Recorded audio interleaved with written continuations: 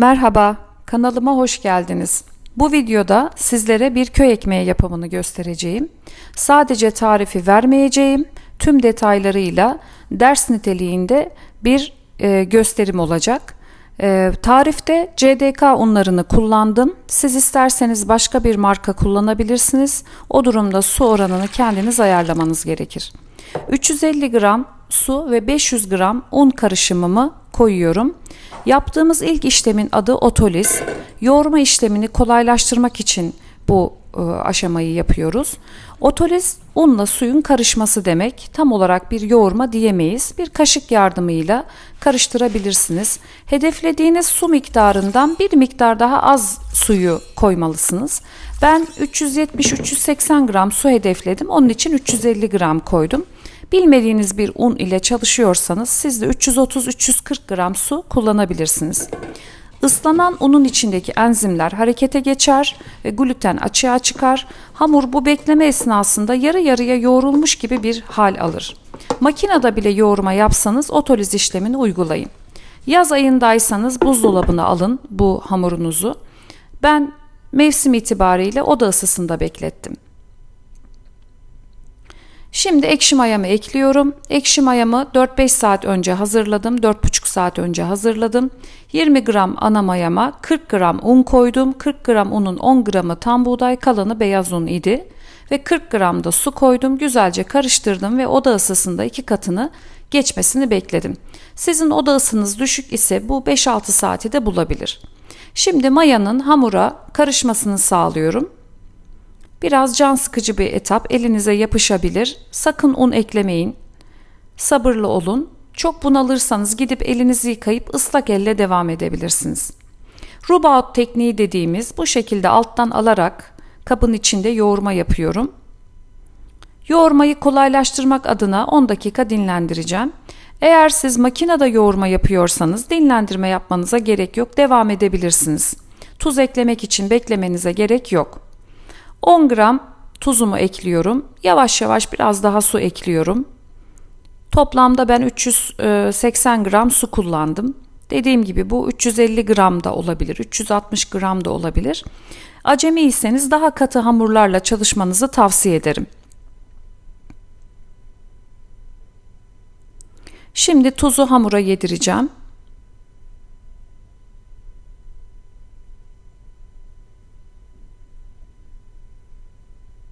CDK unlarının özelliği çok çabuk mayalanması. Ee, bunu birkaç sefer denediğimde gördüm. Neredeyse e, iki katı daha hızlı bir şekilde hamurumun mayalandığını gördüm. Burada verdiğim süreler e, yoğurmadan sonraki süreleri kastediyorum. Sizin daha yavaş olabilir. Şimdi tekrar 10 dakika daha dinlendiriyorum. Ellerime su spreyliyorum.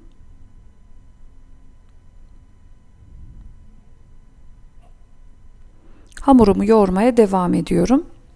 İsterseniz robot tekniğiyle bu şekilde yoğurmayı tamamlayabilirsiniz. Ama ben tezgahta vur katla tekniğiyle daha rahat ettiğim için öyle devam edeceğim. Hamuru dilediğiniz gibi yoğurabilirsiniz.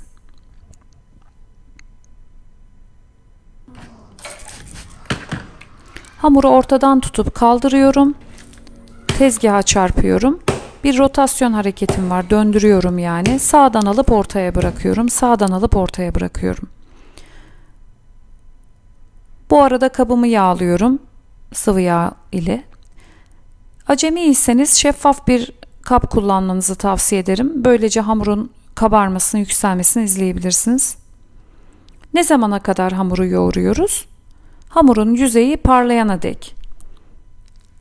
İki teknikle yeterince yoğurup yoğurmadığımızı anlarız. İki parmağımızı takıp hamuru kaldıralım. Hamur aşağı sarkmıyorsa, kopmuyorsa tamamdır.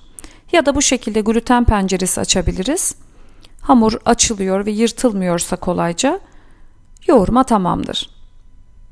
Artık hamurumuzu düzeltip bir top halinde katlamaları ile devam edeceğimiz kaba koyabiliriz. Katlamalar da zaten yoğurmanın tamamlanması için yapılan işlemler.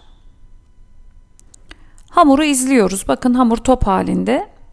Ben 20 dakika sonra baktığımda hamurum yayılmıştı. Siz yarım saat sonra da yapabilirsiniz. 15 dakika sonra da yapabilirsiniz. Tamamen sizin hamurunuza bağlı bir şey bu. İlk katlamayı bu şekilde hamuru uzatarak ortada toplayarak bir tur döndürüyorum kabımı.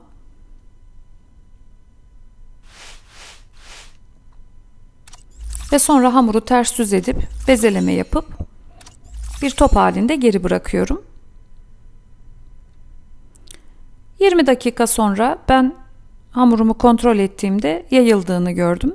Tekrar katlama yapıyorum. Katlama işlemlerinde gluteni esneterek şekillendiriyoruz ve mayalanmanın gelişmesini sağlıyoruz. Hamurun gelişmesini sağlıyoruz. Dört bir kenarından spiral katlama dediğimiz katlama yaptım. Yaklaşık 20 dakika sonra baktığımda hamurum bu sefer daha az yayılmıştı. Son kez katlayacağıma karar verdim. Bu sefer daha yumuşak bir şekilde katlıyorum. İçe doğru hafifçe büküyorum hamurumu. Çok fazla zorlamıyorum.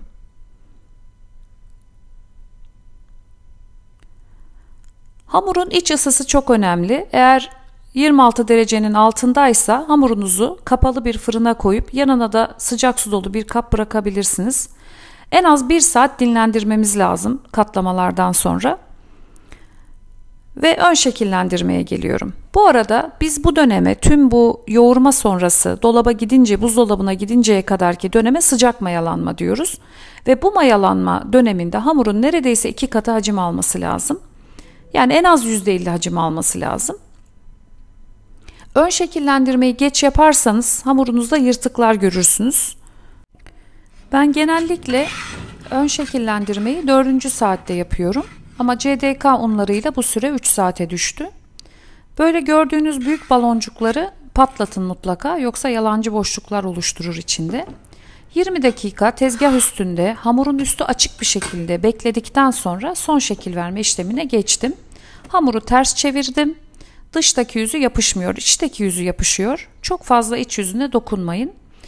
Un kullanmamaya çalışın. Çok zorlanıyorsanız çok hafif un serpebilirsiniz ama çok tavsiye etmiyorum.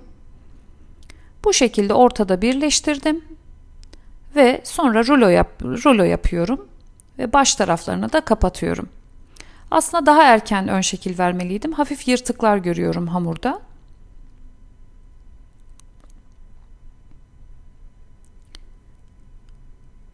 Sepetimi hafif unluyorum.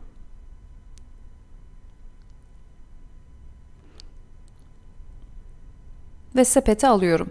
Sepette bir sırt dikişi atıyorum. İyice böyle derli toplu bir hamur olsun diye.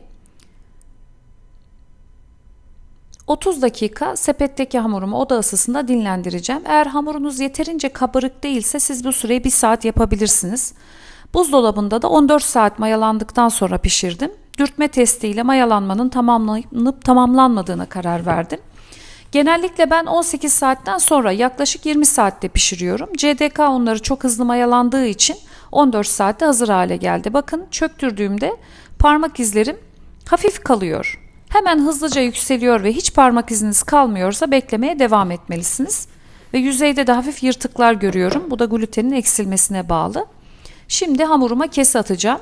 Bu arada fırınım 40 dakikadır ön ısıtmada çalışıyor. İçinde de kaynar su dolu bir kap var, bir de boş kap var. Kesiyi düz bir jiletle açabilirsiniz. Eğer göbekli bir ekmek yapmak istiyorsanız bu şekilde yan cep açabilirsiniz. Bunu özellikle gösterdim. Normalde ben yan cep çok fazla açmıyorum. Bu şekilde yaparsanız daha göbekli bir ekmeğiniz olur. Kesiyi de yataya yakın bir açıyla yapıyorsunuz. Bu önemli. Şimdi 230 derecede 20 dakika buharlı pişireceğim. Buhar desteği için yani kaynar su dolu kap koymuştum tabana. O yetmiyor. İki tane de buz küpünü hamur attıktan hemen sonra koyuyorum. 20 dakika sonra su kaplarını dışarı çıkartıyorum. Isıyı 210 dereceye düşürüyorum ve 20 dakikada bu şekilde pişiriyorum. Kesinlikle 40 dakikanın üstüne çıkmaması lazım pişirme sürenizin. Eğer ekmeğiniz pişmiyorsa demek ki ısıyı bir 10 derece daha artırmalısınız. Yoksa sert bir kabuğunuz olur. Ekmeğin iç ısısını ölçtüm. 98.1 geldi. 95 derecenin üstü makbuldür.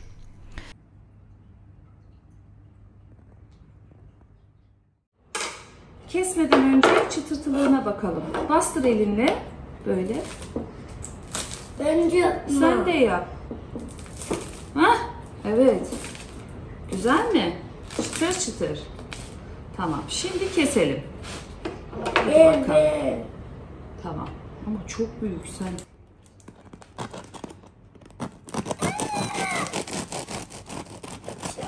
Açılmış.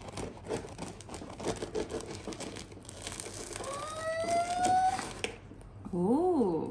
Güzel mi? Şöyle yapıyorum. O da aa. Sen keseceksen oraya. Evet. Bir tane daha keselim.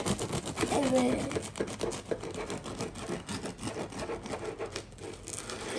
Kestik. Evet. Sıcak mı? Evet, sıcak. Ayrına gösterelim o zaman. Nasıl? Harika. Evet. Şöyle gösterelim. Wow. Hadi kapatalım. Kapatalım geri. Tamam. Sorularınız varsa yorumlara yazabilirsiniz. Videomu beğenmeyi, kanalıma abone olmayı ve alarm ziline dokunmayı unutmayın lütfen. Başka videolarda görüşmek üzere. İyi günler. Böyle. Aldı. Tamam.